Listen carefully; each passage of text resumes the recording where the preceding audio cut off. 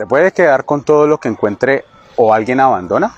Respuesta corta depende del tipo de bien que usted encuentre abandonado. La respuesta larga, los bienes abandonados pueden ser de distintos tipos y su clasificación define si te los puedes quedar.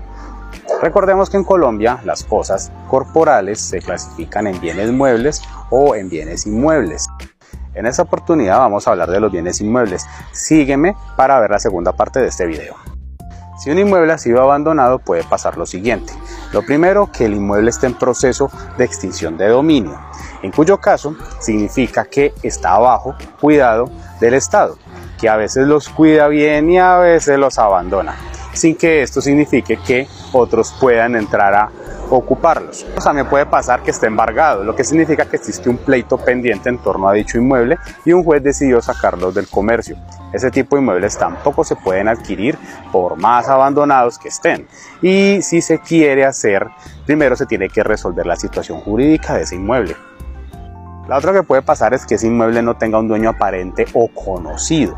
En estos casos podemos estar frente a un bien vacante, por lo cual se deben denunciar ante el ICBF quien buscará a su dueño.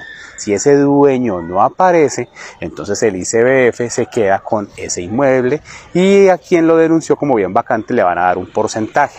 Ahora, si ese inmueble tiene un dueño conocido, se pueden ocupar y eventualmente esa persona que lo ocupe va a ser propietaria del inmueble, pero el tiempo que tarde en ser dueño va a depender si accedió al inmueble con justo título y buena fe. Por ejemplo, existe justo título y buena fe cuando eres heredero de una casa, pero no inicia la sucesión, por lo que al cabo de cinco años podrás pedir que te declaren como dueño mediante un proceso de prescripción adquisitiva de dominio.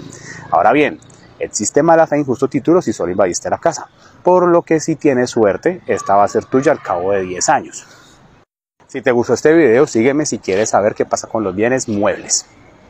Se puede quedar con todos los bienes que aparezcan abandonados o sin dueño aparente. En la parte 1 ya vimos qué pasa con los bienes inmuebles abandonados, por lo que hoy hablaremos de los bienes muebles, que son aquellos que se pueden trasladar de un lugar a otro por sí mismos o mediante alguna fuerza que los mueve. El estatus legal de un bien inmueble abandonado varía según si es un tesoro o una caleta o algo que tiene un dueño aparente o conocido. Para empezar, definimos tesoro como aquellas joyas, monedas u objetos preciosos que llevan sepultados o escondidos por largo tiempo sin que haya memoria de su dueño. Cuando alguien encuentra un tesoro puede quedarse con él a menos que esos bienes tengan como origen una cultura desaparecida o que pertenezcan a la época colonial, en cuyo caso harán parte del patrimonio arqueológico de Colombia y deberán ser reportados a la policía para que éste avise al Ministerio de Cultura. Ahora, si hablamos de una caleta como las bolsas de dinero que entierran a narcotraficantes, esta debe ser reportada a la Fiscalía General de la Nación, so pena de que quien las encuentre cometa el delito de peculado. La persona que encuentra una caleta no tiene derecho a nada. Pero si solamente es un bien mueble abandonado, su estatus varía de según de si tiene o no dueño aparente o conocido. Si tiene un dueño aparente o conocido, todo bien mueble que se encuentra lo debe entregar a su dueño. Así que olvídese de quedarse con esa billetera que estaba marcada. Pero si se lo queda solamente va a ser suyo al cabo de 10 años. Pero si ese mueble tiene dueño aparente conocido, estamos ante un bien mostrenco, por lo que debe denunciar al ICBF su hallazgo para que la entidad encuentre su dueño. Si el dueño no aparece, entonces el ICBF se va a quedar con ellos y a quien denunció como mostrenco le van a dar un porcentaje.